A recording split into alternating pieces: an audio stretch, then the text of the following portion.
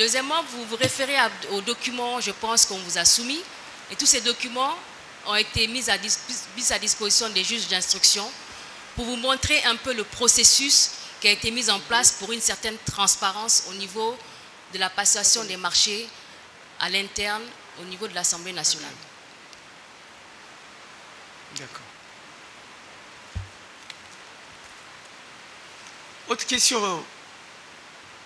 Comment les marchés... Combien de marchés Combien de marchés avez-vous conclu à ce titre et à quel coût total? Alors, je ne pourrais pas vous dire quel coût total. Je ne m'en souviens pas. Alors, combien de marchés Non plus? Mais je vous ai mis tous les documents à votre disposition. Parce que pendant un an, j'ai envoyé un rapport détaillé au président de l'Assemblée nationale et au premier questeur par rapport aux activités que je menais.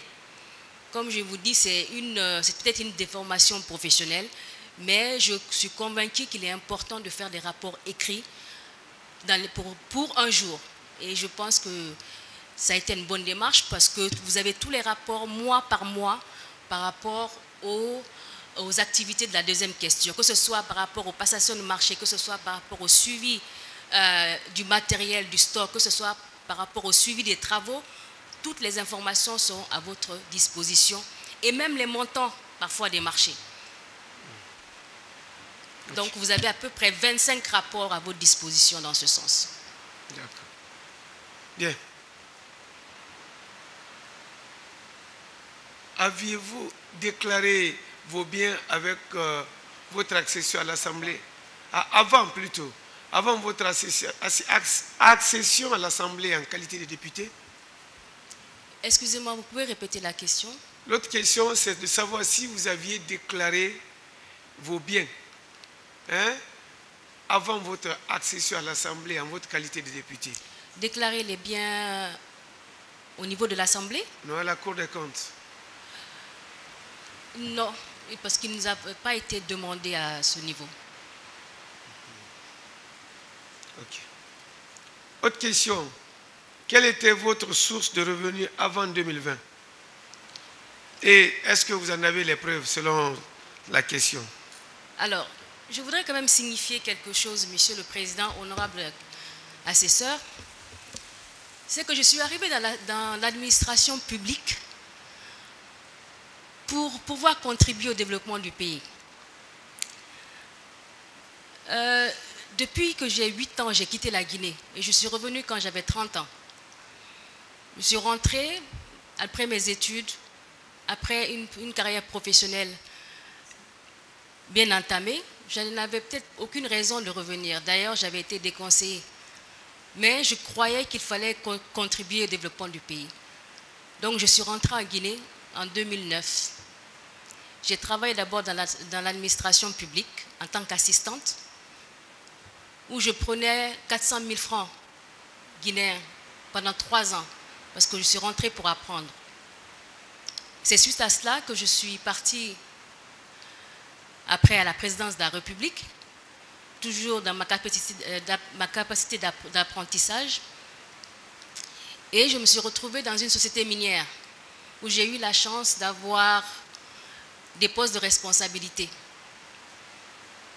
Trois postes de responsabilité en six ans pour montrer le, travail acharné que j'ai coutume, j'ai l'habitude de mener.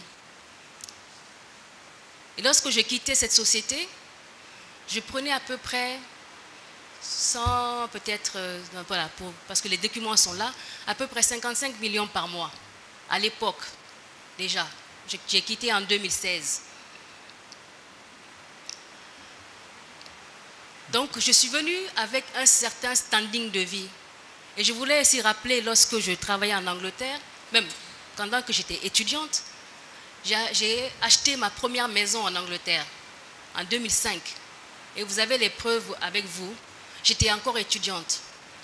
Et ceux qui ont fait un peu l'étranger au cours de la diaspora, ils pourront vous dire que ce n'est pas n'importe qui qui peut acheter une maison seule dans ces pays, si vous n'avez pas un track record qui est bon, si vous n'avez pas une source de revenus licite et constant.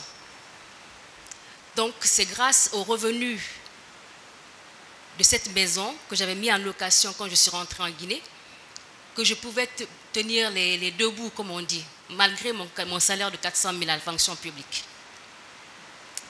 Et donc, je suis arrivée dans cette société minière. J'ai commencé par 16 millions, je me suis retrouvée à la fin à 55 millions. Donc, je suis restée 6 ans. Et vous pourrez me dire que quand même, j'ai pu euh, investir, économiser dans ce sens. J'ai été amenée dans l'administration publique. Je n'ai pas demandé à venir. Sinon, j'étais cooptée par une autre organisation internationale. Et vous avez les échanges d'emails encore, où j'ai eu un contrat pour être représentant de pays ici, avec un statut d'expatrié. Parce que je voulais vous signifier également que oui, j'ai aussi la nationalité française. Donc c'est de là que j'ai été appelée dans l'administration. J'ai été rappelée dans l'administration. Donc j'avais déjà un, certain standing de vie avant d'arriver dans l'administration, Monsieur le Président. Et donc je ne comptais pas sur euh, les salaires de l'administration pour vivre. J'avais déjà cette base. Je suis restée une année lorsque j'ai été nommé chef de cabinet du ministère de l'Enseignement supérieur de la recherche scientifique, une année sans être payée. Donc, je vivais grâce à mes revenus que j'avais accumulés depuis plus de 15-20 ans. Et je voudrais aussi signifier que depuis que j'ai 15 ans, donc ça me fait à peu près peut-être 25 ans de vie professionnelle. Il ne faut pas me voir comme ça. Donc j'ai très tôt commencé déjà à pouvoir bâtir ce standing de vie. Donc lorsque je suis arrivée dans l'administration, j'avais déjà un très haut standing de vie. Au contraire, j'ai baissé mon standing de vie pour pouvoir venir dans l'administration. Et je gagnais avec un contrat parce que je n'ai pas voulu être fonctionnaire. Parce que pour moi, c'était venir servir et repartir dans, euh, dans, dans, le privé. Donc je prenais un salaire, enfin un salaire contractuel de 8 millions. Donc je peux vous dire que lorsque les 8 millions là arrivaient, ça ne sortait pas du ministère. 8 millions de quel euh, De francs guinéens. Parce que j'étais contractuel, je n'étais pas fonctionnaire. Bien. Vous parlez de standing de vie. Vous pouvez un peu évaluer vos revenus à, cette, à, votre venue Ma venue d'où? euh, Au sein de l'administration. Vos revenus étaient estimés à combien environ? Je ne pourrais pas vous dire spécialement. Quand je suis arrivée, j'avais toutes mes économies que j'avais faites. J'avais les loyers de, de, mon, de, mon, de ma maison en Angleterre. J'avais d'autres investissements parce que j'étais dans les tontines, j'avais investi dans d'autres projets euh, des startups. J'avais également, lorsque j'ai quitté euh, à Rio Tinto, on nous avait donné une indemnisation, une compensation, je pense que j'avais eu 1 milliard 200 ou 300, c'est dans les, dans les documents, quand j'ai quitté. Vous avez passé combien d'années à Rio Tinto? Six ans. Six ans. Revenus étaient à combien? Votre, revenu mensuel, c'était combien?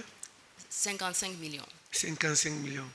Ça a été constant ou bien c'était progressif? Non, c'était progressif. La, première année, c'était 16 millions. J'ai commencé à 16 millions. Pendant combien de temps? Peut-être un an, deux ans. Après, maintenant, j'étais à, 30 millions, 30, 35, je me rappelle. Et puis, j'ai fini à 55. En quelle qualité? De directrice senior de la conformité sociale. Bien. Autre question. Pouvez-vous nous produire les titres de propriété de vos biens que vous venez de citer? Les titres sont déjà à votre disposition. Je les avais envoyés, que ce soit le, euh, les titres de l'Angleterre, les titres de, du duplex de, de Lambagny, titres fonciers, ainsi que les autres ont été déposés au niveau du greffier. Avez-vous des comptes bancaires?